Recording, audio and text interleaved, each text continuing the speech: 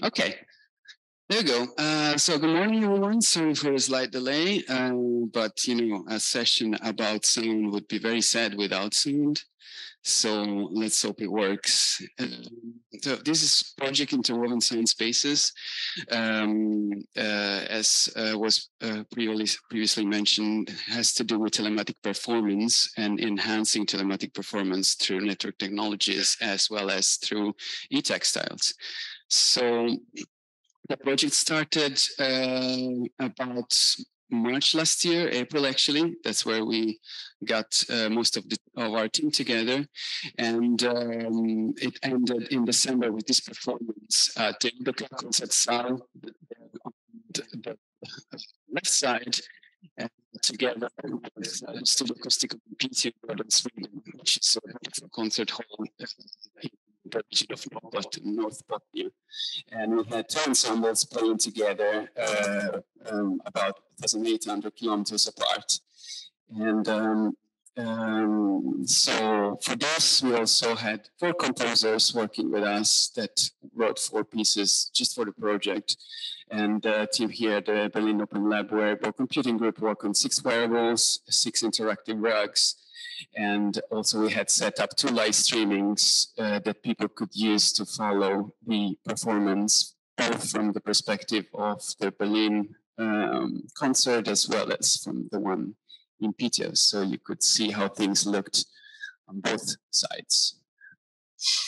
And um, so a quick timeline of uh, uh, the main milestones for what concerns our collaboration with the musicians. There were many sides to this project. We also developed hardware and software, but now I just have five minutes. So I'll focus more on the work we did with the musicians and composers. We had a workshop with all the four of them where we explained uh, you know, our vision for the project, the technologies that we had developed in terms of uh, interactive wearables that track the musicians' movement, how they could use them in their composition, how they could also uh, harness certain affordances of the network to design their composition uh, around the possibilities of like network music performance. We're going to give a quick example of that uh, in one of the next slides. And so in between the 17th and 19th of October, I traveled to northern Sweden, and we had the first network rehearsals that you see there in the picture. That's the MMD lab in,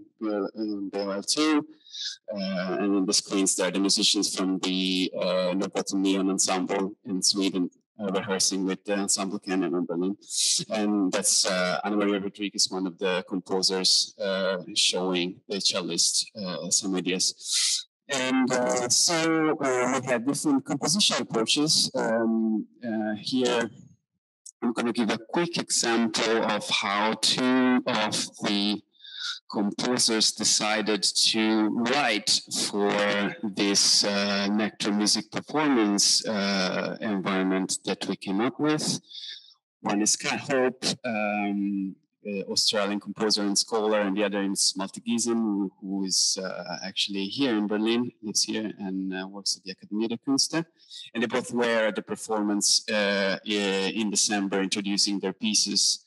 So um, uh, in the case of Malte Giesen, he decided to work with uh, um, uh, the um, data from the interactive rugs as well as uh, one of the wearable that uh, Cody will present later that was worn by the cellist to work on sound synthesis that was then amplified through speakers that were placed inside the contrabass clarinets of the clarinetist both in Berlin and uh, in um, in Piteå in Sweden. There were two contrabass clarinets in the two locations.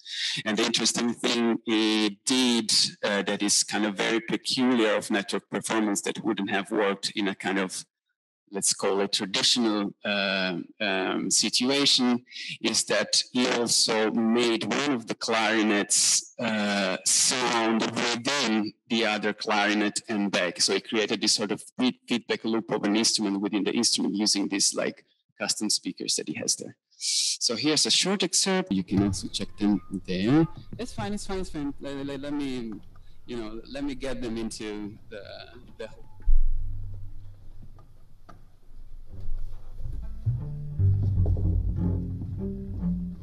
What's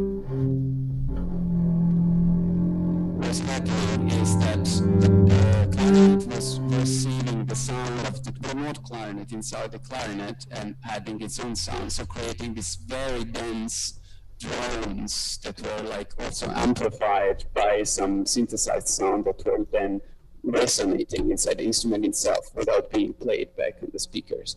And so it was very interesting, like the kind of timbral textures that he could get by actually working with the affordances of the network itself. On the other hand, we had um, uh, Cat Hope uh, that instead didn't work with synthesis or networking audio, but she brought into the picture uh, her own um, interactive graphical scoring system, which actually used the data from the wearables to generate this live graphical score that uh, the musicians were uh, performing with. So, uh, like the composition, the movie sounded very different from the one that uh, Martin uh, proposed, and this video here is instead from uh, the video live streaming. So we had the screens on the opposite side and the live musicians on the other side. In this case, there were the three of them, percussion, viola, and a clarinet. On the other side, there was right here the clarinetist from uh, uh, the KNM in Berlin. So now I'm going to run the root recording uh, that will give a quick uh, overview of the um, uh, wearables that were developed here at the BOL for the project. All right, so let's try this. God, do you hear me? Yes, can you hear me? Hello, hello. Yes. So uh, I've got two slides on, and okay. the first one is on, and I don't know if you can see them in Zoom. You should probably be able. Yes. Okay. Yes. Whenever you want. Okay. So yeah, I'm just going to talk a bit about the overall concept and the garment design for um, the project. So the concept was based on the overarching idea of a complex network with its intertwining connections and the distortions created by interactions within it. Next slide. The network emerges in all parts of the musical performance, in the sound, the wearables, the stage, and the interactions between those. And interwoven sound spaces is about bringing these elements into a shared space. So, just to quote part of the written concept here, an action at any point in the network feeds back through the entire system, rippling across connections between points the only way to discover how a connection will react is to touch it, to play it, to perform the action itself. Next slide. So during the course of the project, we developed two different types of wearables and one rug for the musicians and composers to use during their performances.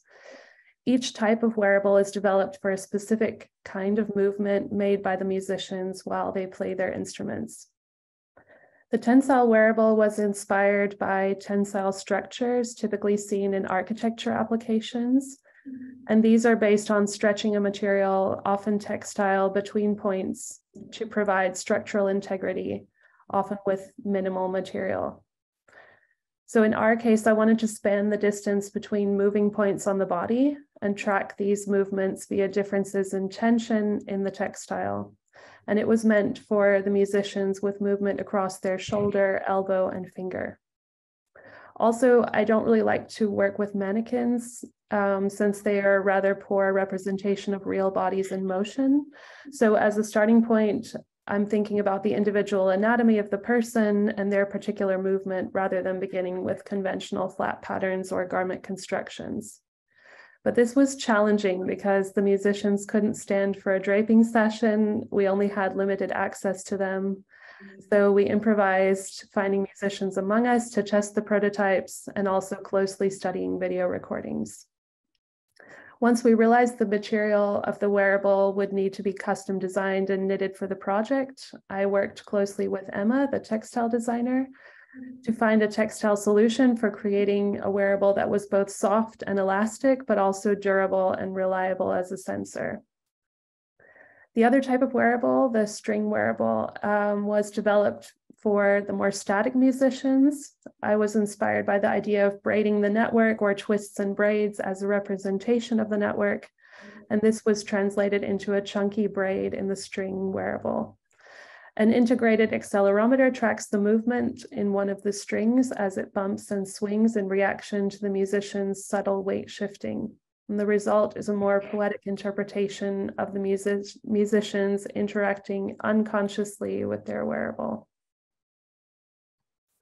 I also enjoyed working with the composer Cat Hope on this one. Um, she used the string wearable in her composition for the performance, and she wanted to maximize the swing of the strings to draw out the sound or memory of the movement for a continuous drone-like effect. So to achieve this, we tested various placements of the strings and of the embedded accelerometer. Next slide. Uh, I couldn't see it, sorry. okay, this is good. Um, the rug is meant to create a shared space on the stage between Sweden and Berlin, as well as keeping the musicians in one spot while their image was streamed live. It also offers potential for interaction between the musicians and the network through integrated sensors. They can activate like pedals. Um, the shapes are derived from a kind of analog motion tracking I did during a session with Cosima, the cello player. So you can see those on the right hand side. Um, as a result, the design and the shapes are a sort of collaboration between my drawings and her movements. So in hindsight, working with the musicians and composers in different geographic locations was exciting, but it also came with many challenges we had to tackle along the way, including re remote fittings and shipping garments and rugs back and forth for testing and alterations, and sometimes you're in a call and you just wish you could reach through the screen to adjust some minor detail or help with putting things in place. But instead, we had to come up with very precise instructions. And Emma prepared kits for the wearables with a kind of manual explaining how things should be worn and connected. But in the end, it was also nice to give up control and see how the musicians and composers finally use the pieces in their creative practice. And that's all from my side. Thanks for listening and looking forward to your comments and questions. So yeah, thank you very much.